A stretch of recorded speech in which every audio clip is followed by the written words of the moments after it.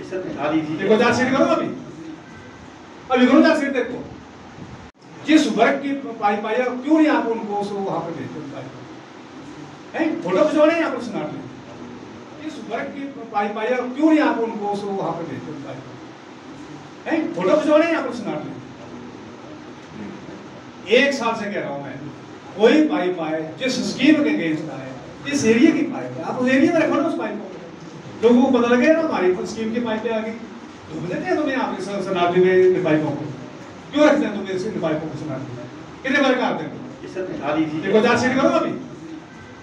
अभी करो चार्जशीट देखो चाहे यहाँ से चर्चा करता है आगे से। कौन कहता है अभी आई भाई?